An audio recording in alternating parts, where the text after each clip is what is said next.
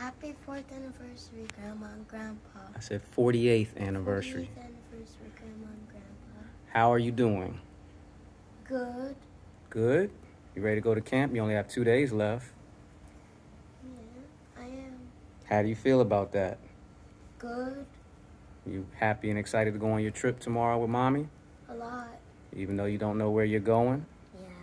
Yeah. What do you think about the new patio? It looks good. It seems like it's looking good. Seems like it's coming along. Yes. How do you feel about the end of summer? You ready to go back to school?